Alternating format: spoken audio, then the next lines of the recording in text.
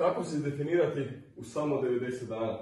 Znači, ako ste odradili sve neke faze, tipa mišićne mase, neke adaptacije, specializacije, sljedeće ono što je logično je da to sve izdefinirate. Znači, većina ljudi koji dolaze u teretanu, ok, povećaju snagu, povećaju jakost, eh, podignu mišićnu masu, ali da bi lijepo izgledali, znači moramo se definirati. Znači, moramo smanjiti potporno masno tkivo i moramo napraviti da su mišići definirani, da, da znači da budu oblikovani i vaskulizirani. Često puta ljudi sa manjim opsegom bicepsa, sa manjim kilama znaju izgledati bolje od nekog težeg nabildanog, pod navodnicima. Znači ruka od 40 izgleda manje nego ruka od 35, ako je dobro definirana i oblikovana.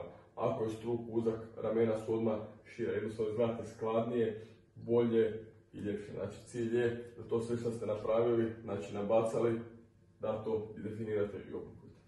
A pri tome da očuvate što više mišića. Znači nije cilj izgubiti mišićnu masu kada se ide u definiciju, kada se ide rezati, ovoga, tako da želimo očuvati što više mišića, a to možete uz naš program treninga, uz naš program prehrane.